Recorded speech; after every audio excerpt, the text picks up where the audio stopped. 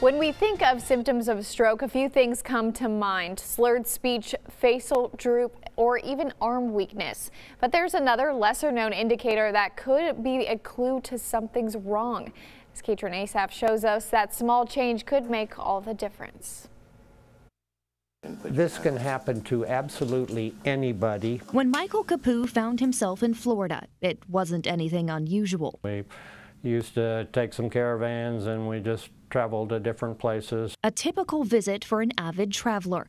What was unusual was what happened while taking in the scenery. I was looking at a sign and the, the word was Sun Cruiser, but I only saw cruiser. A temporary lapse in vision.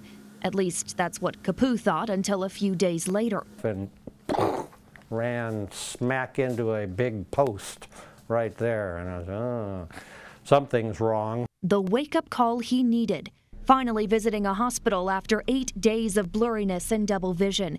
But when the diagnosis came back, it wasn't an issue with his eyes, but his brain. When this happened to me, I never in a million years did I even think it might have been a stroke because I didn't know it had anything to do with that. An occipital stroke, the reason for the E in be fast, a medical emergency marked by changes in eyesight and one that for Capu was too late to treat.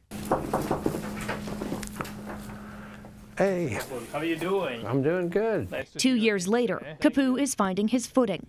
Tell me how many fingers you see. I don't see them. Working with UAMS's Stroke Education Support Group, missing what he had before.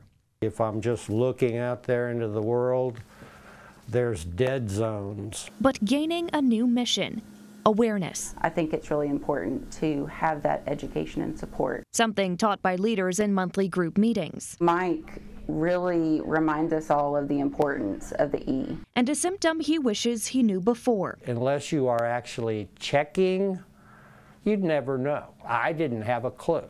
Looking back on vacation photos and telling his younger self to take that warning seriously. Quite possibly be in a different situation right now today.